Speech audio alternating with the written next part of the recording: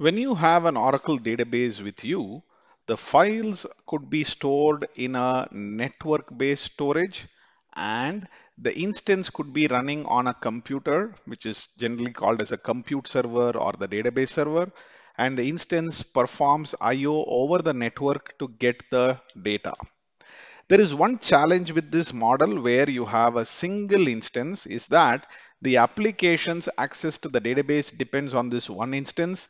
If something goes wrong with the instance and it crashes or the hardware of this server crashes, application loses connectivity to the database. That is the first problem.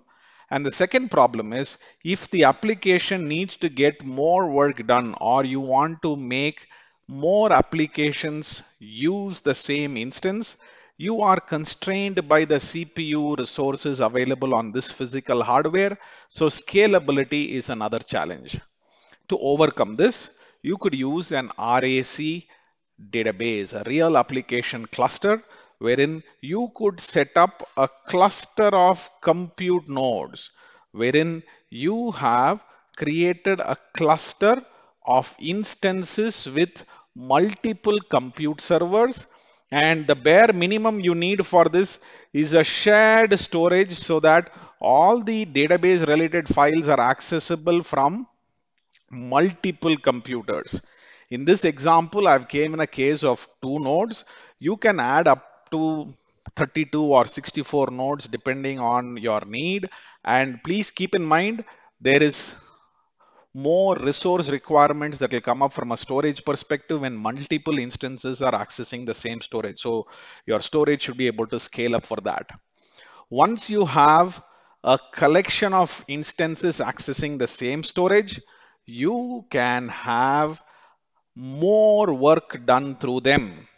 So you can have specific applications connect to a particular service which can be exposed over a particular instance particular application connect to a particular service. Services are discussed in another uh, playlist I have given about grid infrastructure and rack RAC concepts overview.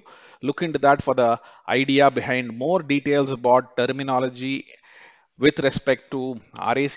The idea here is to understand in a non-CDB environment, you have a single database which has multiple instances on multiple computers so that you can have a scalable setup. Also, you get the ability to take care of high availability so that if one instance or one computer fails, your application still have access to your database.